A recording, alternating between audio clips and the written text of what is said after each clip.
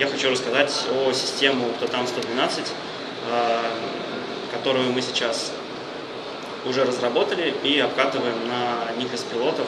Эта система позволяет э, контролировать пропуск э, экстренных служб на территории придомовой территории, на территории подъездов тех же самых. Устанавливается устройство на шлагбаумы, на многоабонентские домофонные панели.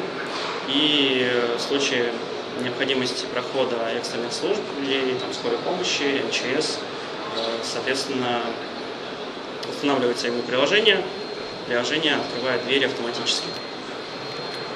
А сейчас э, установлены на шлагбаумах автоматическое открытие производится в течение 10 секунд, э, как подходит пользователь с приложением к шлагбауму.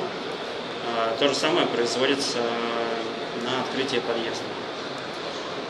Ну, как э, перспектива, я думаю, что подобные системы уже должны устанавливаться на практически всех подъездах, и мы должны развивать подобные системы.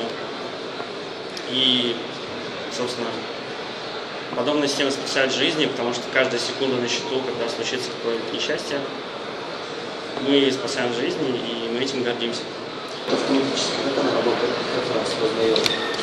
А, Все просто. Здесь э, приложение устанавливается оно на смартфон работника спецслужбы, будь то скорая, либо я не за либо сотрудник МЧС спасательный. А, работает оно по геолокации. Ну, ни для кого не, не секрет, что сейчас технологии ГЛОНАСС и геолокация уже развились до такой степени, что мы можем контролировать чуть ли не вплоть до метра э, и определять это с высокой точностью. Соответственно, находясь в зоне действия того или иного шлагбаума, допустим, э, на карте мы заметили радиус 10 метров, сотрудник находится с включенным приложением в зоне радиуса шлагбаума, шлагбаум открывается спустя нахождение 10 секунд. С докладом интересует вопрос безопасности вот, по вашему приложению 112.